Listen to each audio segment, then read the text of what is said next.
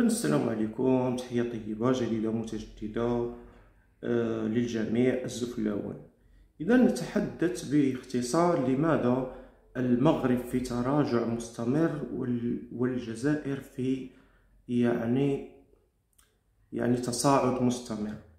أولا أذكركم بأنه في بداية التسعينات حتى الألفية الأخيرة كان عدد سكان المغرب أكثر من سكان الجزائر حيث حنا كنا 35 وهما كانوا 40 لكن الآن العدد الجزائريين 46 مليون ومع الإحصائيات التي ستقام ربما سنقترب من الخمسين مليون. والمغرب عدد سكانها تناقص حيث من المفروض أنهم كانوا فايتين يزيدوا يفوتونا لكن مع السياسات يعني الغير مدروسة مع الاعتماد على الكيان الصهيوني مع الاعتماد على الحشيش على السياحة الجنسية. هنا الله عز وجل لا يبارك الله عز وجل لا يبارك زيادة على أنه العبودية الله عز وجل لا يحب العبودية. يحب العبودية له وحده.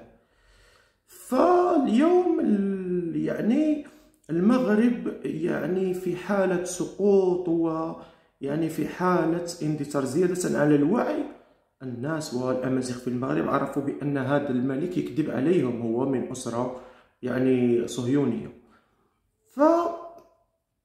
فهكذا تسير الأمور بوضوح زيادة على أنه القضية الصحراء يعني الغربية وجمهورية الصحراء الغربية الآن تتشكل في الوعي العالمي فاليوم المغرب يضيق على نفسه وزيادة على أنه خان الأرض والشرف ووقع معاهدة تعاون مع كيان صهيوني ضد جاره الجزائر.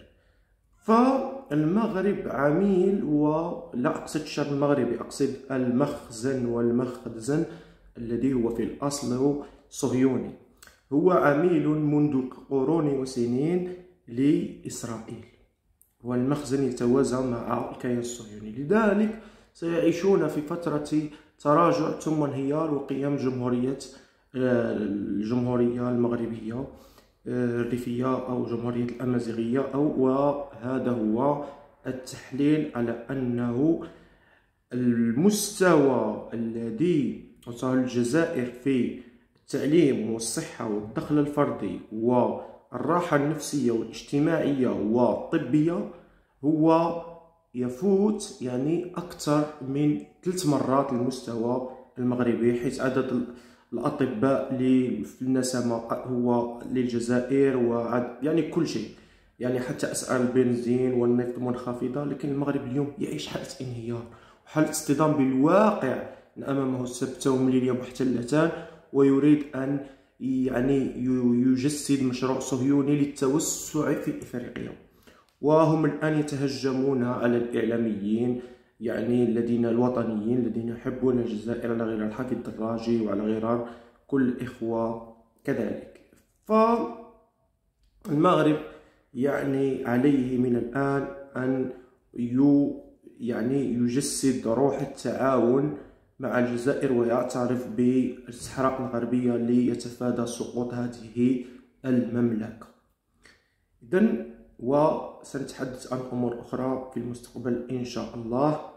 أه تحرير الجزائر لن نزول و حتى تعيشيت من العياشة والعبودية بدأت تنقص في المغرب والوعي بدأ يكبر خاصة مع ثورة التواصل الاجتماعي. إذا السلام عليكم تلميذ للناس